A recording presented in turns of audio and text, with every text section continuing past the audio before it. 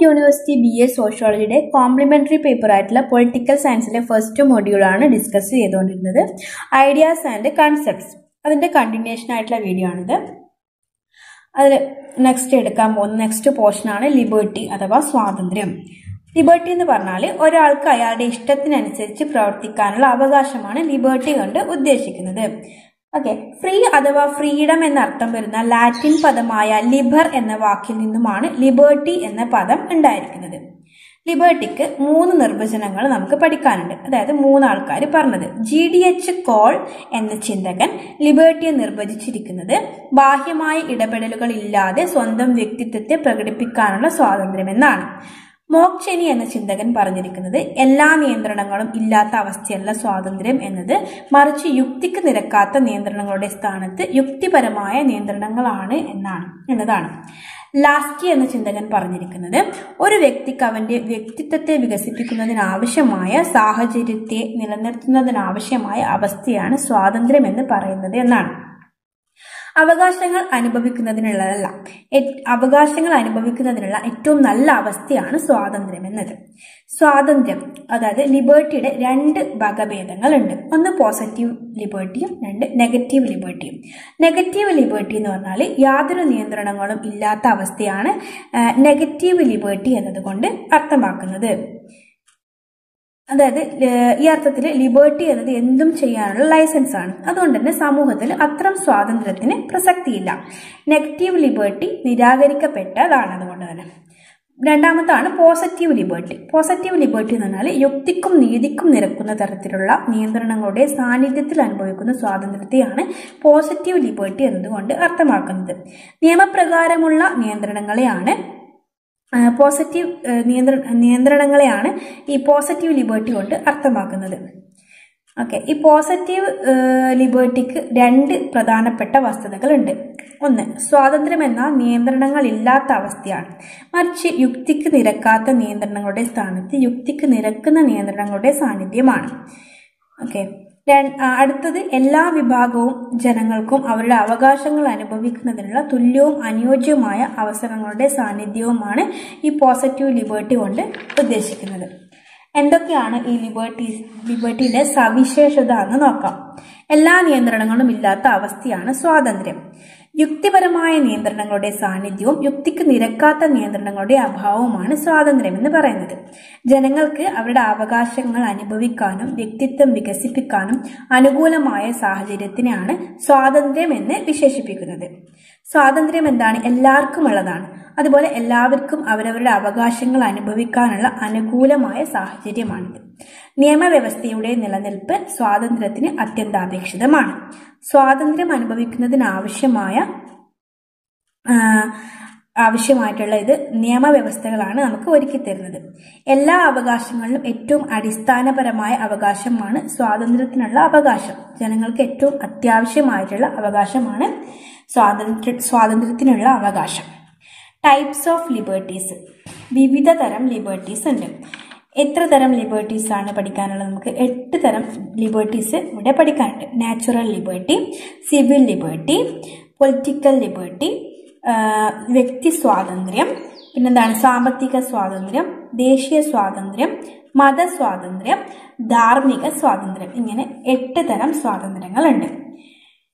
അതിൽ first one ആണ് natural liberty വെച്ചാൽ പരമ്പരാഗതമായിട്ട് വളരെയധികം ജനകീയമാണിത്. നാച്ചുറൽ ലിബർട്ടി എന്ന് പറഞ്ഞാൽ സ്വാതന്ത്ര്യത്തിന്റെ അനിയന്ത്രിതമായ ഉപയോഗമാണ് ഇതുകൊണ്ട് ഉദ്ദേശിക്കുന്നത്. മനുഷ്യൻ സ്വതന്ത്രനായി ജനിക്കുന്നത് കൊണ്ട് തന്നെ അവന്റെ സ്വാതന്ത്ര്യത്തിലും യാതൊരു നിയന്ത്രണങ്ങളും പാടില്ലെന്ന് നാച്ചുറൽ ലിബർട്ടി വിശ്വസിക്കുന്നു. നാച്ചുറൽ ലിബർട്ടിയുടെ പ്രധാന പ്രയോക്താക്കളാണ് ഹോബ്സ് ജോൺ ലോക്ക് റൂസോ. റൂസോയുടെ അഭിപ്രായത്തിൽ മനുഷ്യൻ സ്വതന്ത്രനായി ജനിക്കുന്നു. അവൻ എല്ലായിടത്തും ചങ്ങലകളാൽ ബന്ധിക്കപ്പെടുന്നു. ലിബേർട്ടിയുടെ പ്രാധാന്യത്തെ വ്യക്തമാക്കുന്ന വാക്കുകളാണിത്. പിന്നെ സ്റ്റേറ്റ് ഓഫ് നാച്ചുറൽ മനുഷ്യൻ അനുഭവിച്ചിരുന്ന മൂന്ന് സ്വതസിദ്ധമായ അവകാശങ്ങളാണ് ജീവിക്കാനുള്ള അവകാശം സ്വാതന്ത്ര്യത്തിനുള്ള അവകാശം സ്വത്തിനുള്ള അവകാശം എന്നിവ. ജോൺ ലോക്കിന്റെ അഭിപ്രായത്തിൽ സ്റ്റേറ്റ് ഓഫ് നേച്ചർ എന്നത് രാഷ്ട്രത്തിന്റെ ഉദയത്തിന് മുമ്പുള്ള ഒരു സാങ്കല്പിക സാഹചര്യമാണ്.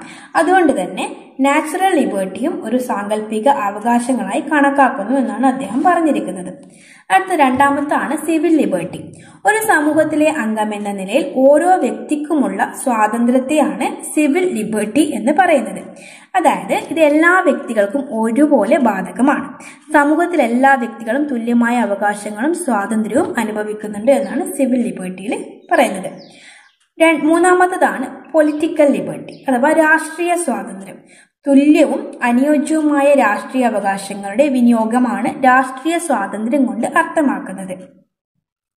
അതായത് നമുക്ക് പറയാൻ പറ്റുന്ന രാഷ്ട്രീയ അവകാശങ്ങൾ എന്തൊക്കെയാണ്? വോട്ട് ചെയ്യാനുള്ള അവകാശം തെരഞ്ഞെടുപ്പിൽ മത്സരിക്കാനുള്ള അവകാശം പൊതുപദവികൾ വഹിക്കാനുള്ള അവകാശം രാഷ്ട്രീയ പാർട്ടികൾ താൽപ്പര്യ ഗ്രൂപ്പുകൾ സമ്മർദ്ദ ഗ്രൂപ്പുകൾ എന്നിവ രൂപീകരിക്കാനുള്ള സ്വാതന്ത്ര്യം ഭരണഘടനാ ഭരണഘടനാപരമായ മാർഗത്തിലൂടെ ഗവൺമെന്റിന്റെ ഗവൺമെന്റിനെ മാറ്റാനുള്ള സ്വാതന്ത്ര്യം എന്നിവയെല്ലാം എന്താണ് രാഷ്ട്രീയ സ്വാതന്ത്ര്യത്തിൽ ഉൾപ്പെടുന്നതാണ്.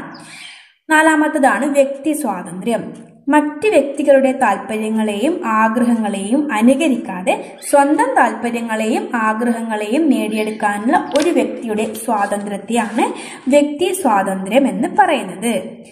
നമുക്ക് എന്തൊക്കെ പറയാൻ പറ്റില്ല സംസാരിക്കാനും ആശയപ്രകടനത്തിനുമുള്ള സ്വാതന്ത്ര്യം സ്വന്തം തൊഴിലിന്റെ ഫലങ്ങൾ അനുഭവിക്കാനുള്ള സ്വാതന്ത്ര്യം ഇഷ്ടമുള്ള മതം സ്വീകരിക്കാനോ ഏതെങ്കിലും മതം സ്വീകരിക്കാതിരിക്കാനോ ഉള്ള സ്വാതന്ത്ര്യം അതുപോലെ ഏതെങ്കിലും ആശയം സ്വീകരിക്കാനോ സ്വീകരിക്കാതിരിക്കാനോ ഉള്ള സ്വാതന്ത്ര്യം എന്നിവയെല്ലാം എന്താണ്? വ്യക്തി സ്വാതന്ത്ര്യത്തിൽ ഉൾപ്പെടുന്നതാണ്.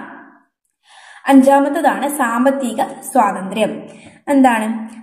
മനുഷ്യന്റെ അടിസ്ഥാനപരമായ മൂന്ന് കാര്യങ്ങളാണ്. എന്തൊക്കെ? ഭക്ഷണം വസ്ത്രം പാർപ്പിടം.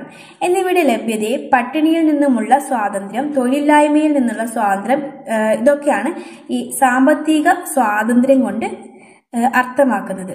ഓരോ മനുഷ്യന്റെയും അന്നത്തെ അന്നന്നത്തെ അന്നത്തിന് വകതേടാനുള്ള അവസരവും സുരക്ഷിതത്വവും ഇതുകൊണ്ട് ഉദ്ദേശിക്കുന്നു. പിന്നെ ആറാമത്തതാണ് ദേശീയ സ്വാതന്ത്ര്യം. ഒരു രാഷ്ട്രത്തിന്റെ സ്വാതന്ത്ര്യത്തിനെയാണ് ഇത് ദേശീയ സ്വാതന്ത്ര്യം കൊണ്ട് അർത്ഥമാക്കുന്നത്. ഇതിൽ പറയുന്ന പ്രധാന കാര്യങ്ങളാണ് സ്വന്തമായൊരു ഭരണഘടന ഉണ്ടായിരിക്കുക സ്വന്തം ഗവൺമെന്റിനെ സംഘടിപ്പിക്കുക സ്വതന്ത്രമായ നയങ്ങളും പരിപാടികളും സ്വീകരിക്കുക ലോകരാഷ്ട്രങ്ങളുമായുള്ള ബന്ധത്തിൽ രാഷ്ട്ര സ്വാതന്ത്ര്യത്തെ ഉയർത്തിപ്പിടിക്കുക ബാഹ്യ നിയന്ത്രണങ്ങളിൽ നിന്നുമുള്ള സ്വാതന്ത്ര്യം തുടങ്ങിയവ. ഏഴാമത്തതാണ് മത സ്വാതന്ത്ര്യം അതായത് ഏതെങ്കിലും ഒരു മതം സ്വീകരിക്കാനോ സ്വീകരിക്കാതിരിക്കാനോ ഉള്ള സ്വാതന്ത്ര്യത്തെയാണ് മതസ്വാതന്ത്ര്യം എന്ന് പറയുന്നത്. എട്ട് ധാർമ്മിക സ്വാതന്ത്ര്യം. അതായത് ഒരു വ്യക്തിയുടെ മനസാക്ഷി അനുസരിച്ച് പ്രവർത്തിക്കാനുള്ള സ്വാതന്ത്ര്യത്തെയാണ് ധാർമ്മിക സ്വാതന്ത്ര്യം എന്ന് പറയുന്നത്. ഇനി സ്വാതന്ത്ര്യത്തിന്റെ സുരക്ഷാ ഘടകങ്ങൾ എന്തൊക്കെയാണെന്നുള്ളതാണ്. ഒന്ന് സ്വാതന്ത്ര്യത്തോടുള്ള സ്നേഹം. രണ്ട് നിതാന്ത ജാഗ്രത.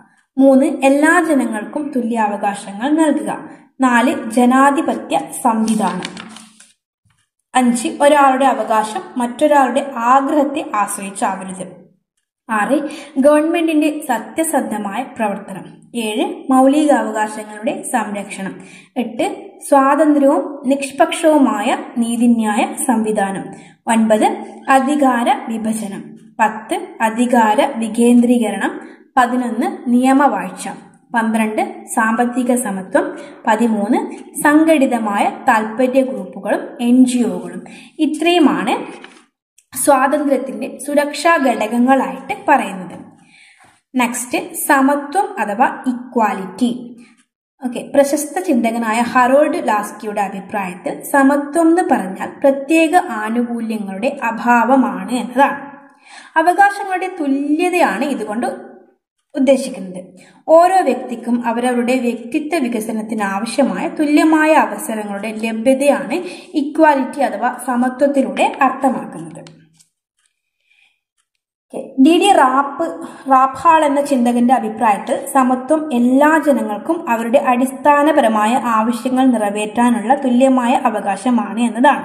ഓരോ മനുഷ്യനും അവന്റെ കഴിവ് വ്യത്യസ്തമാണെങ്കിലും സമത്വം എല്ലാവർക്കും തുല്യമായ അവസരങ്ങൾ സൃഷ്ടിക്കുന്നു. എന്നാണ് ഡി ഡി റാപ്പ് എന്ന ചിന്തകൻ സമത്വത്തെപ്പറ്റി പറയുന്നത്. ഓക്കെ ഇനി സമത്വത്തിന്റെ സവിശേഷതകൾ അഥവാ ക്യാരക്ടറിസ്റ്റിക്സ് ഓഫ് ഇക്വാലിറ്റീസ് അല്ലെങ്കിൽ ഫീച്ചേഴ്സ് ഓഫ് ഇക്വാലിറ്റീസ് ഒക്കെ വന്നാൽ എന്താണ് എഴുതേണ്ടതെന്ന് നോക്കാം. സമത്വം എന്നാൽ എന്താണ്? സമ്പൂർണമായ സമത്വമല്ല. സ്വതസിദ്ധമായ അസ അസമത്വത്തിൽ ഇത് അംഗീകരിക്കുന്നു.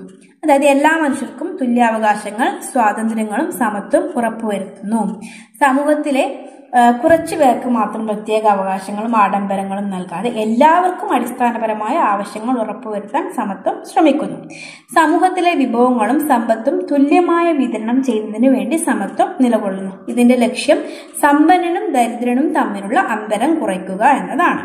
സമൂഹത്തിലെ ദുർബല ജനവിഭാഗങ്ങളായ പട്ടികജാതി പട്ടിക വിഭാഗങ്ങൾ ഒ ബി സി ന്യൂനപക്ഷ വിഭാഗങ്ങൾ സ്ത്രീകൾ കുട്ടികൾ എന്നിവർക്ക് വേണ്ടി പ്രത്യേക സംരക്ഷണവും ആനുകൂല്യങ്ങളും സമത്വം എന്ന ആശയത്തിൽ നിന്നും ഉണ്ട്. സമത്വത്തിന് മൂന്ന് അടിസ്ഥാന ആശയങ്ങൾ ഊന്ന് നൽകുന്നുണ്ട്. ഒന്ന് സമൂഹത്തിൽ പ്രത്യേക ആനുകൂല്യങ്ങൾ ഇല്ലായ്മ ചെയ്യുന്നു. രണ്ട് എല്ലാ വ്യക്തികൾക്കും അവരുടെ വ്യക്തിത്വ വികസനത്തിന് ഉതകുന്ന അനുയോജ്യമായ തുല്യ അവസരങ്ങളുടെ ലഭ്യത. മൂന്ന് എല്ലാ ജനവിഭാഗങ്ങളുടെയും അടിസ്ഥാനപരമായ ആവശ്യങ്ങളുടെ നിർവഹണം. അടുത്താണ് കൈൻസ് ഓഫ് ഇക്വാലിറ്റി വിവിധ തരം സമത്വങ്ങൾ. അഞ്ച് തരം സമത്വങ്ങളെ പറ്റി നമുക്ക് പഠിക്കാറുണ്ട് സാമൂഹ്യ സമത്വം പൗരസമത്വം രാഷ്ട്രീയ സമത്വം സാമ്പത്തിക സമത്വം വിദ്യാഭ്യാസത്തിനും അവസരത്തിനുമുള്ള സമത്വം. സാമൂഹ്യ സമത്വം അഥവാ സോഷ്യൽ ഇക്വാലിറ്റി എന്ന് പറഞ്ഞാൽ ജാതി മത വർഗ വർണ ലിംഗ ജനന സ്ഥല വിവേചനങ്ങളില്ലാതെ സമൂഹത്തിൽ എല്ലാവരെയും ഒരുപോലെ പരിഗണിക്കുന്ന സാമൂഹ്യ സാഹചര്യമാണിത്. എല്ലാവർക്കും അവരവരുടെ വ്യക്തിത്വ വികസനത്തിനുള്ള സാഹചര്യങ്ങൾ ഉണ്ടായിരിക്കും. ഇന്ത്യൻ ഭരണഘടന എല്ലാ പൗരന്മാർക്കും സാമൂഹ്യ സമത്വം ഉറപ്പു നൽകുന്നു. പൗരസമത്വം സിവിൽ ഇക്വാലിറ്റി എന്ന് പറഞ്ഞാൽ എല്ലാ പൗരന്മാർക്കും പൗര പൗരാവകാശങ്ങളും പൗരസ്വാതന്ത്ര്യവും തുല്യമായി അനുഭവിക്കാനുതകുന്ന സാഹചര്യത്തെയാണ് പൗരസമത്വം എന്ന് പറയുന്നത്. നിയമത്തിന്റെ കണ്ണിൽ എന്താണ്? എല്ലാ പൗരന്മാരും സമന്മാരാണ് എന്നതാണ് ഇതുകൊണ്ട് അർത്ഥമാക്കുന്നത്. നെക്സ്റ്റ് രാഷ്ട്രീയ സമത്വം അഥവാ പൊളിറ്റിക്കൽ ഇക്വാലിറ്റി എന്ന് പറഞ്ഞാൽ രാഷ്ട്രീയ അവകാശങ്ങളുടെ വിനിയോഗത്തിൽ എല്ലാ പൗരന്മാർക്കും തുല്യമായ അവസരം എന്നതാണ് രാഷ്ട്രീയ സമത്വം കൊണ്ട് അർത്ഥമാക്കുന്നത്. സാർവത്രിക പ്രായപൂർത്തി വോട്ടവകാശം ഇതിന്റെ ഉദാഹരണമാണ്. പിന്നെ സാമ്പത്തിക സമത്വം എക്കണോമിക് ഇക്വാലിറ്റി അതായത് എല്ലാവർക്കും അവരുടെ സാമ്പത്തിക പുരോഗതി ഉറപ്പുവരുത്താനായി തുല്യമായ അവസരങ്ങളുടെ ലഭ്യതയാണ് സാമ്പത്തിക സമത്വം കൊണ്ട് അർത്ഥമാക്കുന്നത്. സാമ്പത്തിക സമത്വം ഉറപ്പുവരുത്താവുന്ന സംവിധാനം സോഷ്യലിസം ആണ് എന്ന് നമുക്ക് പറയാം. അഞ്ചാമത്തതാണ് വിദ്യാഭ്യാസത്തിനും അവസരത്തിനുമുള്ള സമത്വം. എഡ്യൂക്കേഷൻ ഇക്വാലിറ്റി അതായത് എല്ലാ വ്യക്തികൾക്കും വിദ്യാഭ്യാസം നേടുന്നതിനും സമൂഹത്തിലെ അവസരങ്ങൾ തുല്യമായി വിനിയോഗിക്കുന്നതിനും രാഷ്ട്രം ഉറപ്പു നൽകുന്ന തുല്യമായ സമത്വത്തെയാണ് ഇതുകൊണ്ട് അർത്ഥമാക്കുന്നത്. ഓക്കെ നമുക്ക് നെക്സ്റ്റ് പോർഷൻ എടുക്കാനുള്ളത് ജസ്റ്റിസ് നീതി എന്ന പോർഷനാണ് അപ്പോൾ അത് നമുക്ക് നെക്സ്റ്റ് വീഡിയോയിൽ ഡിസ്കസ് ചെയ്യാം.